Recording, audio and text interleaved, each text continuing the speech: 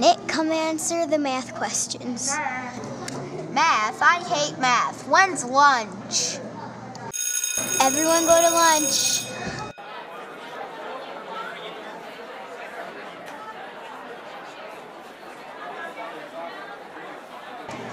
That was a great lunch. Let's play music on the tape player. Oh no, it's broken. What are we gonna do?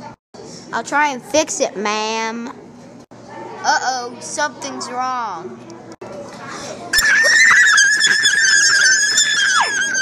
Everyone better go home. We'll try again tomorrow. I wonder if things will go better today.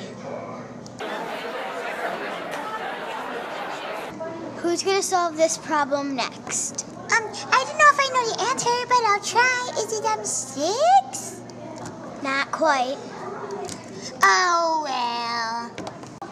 Enough with this stinky math. Let's get out of here.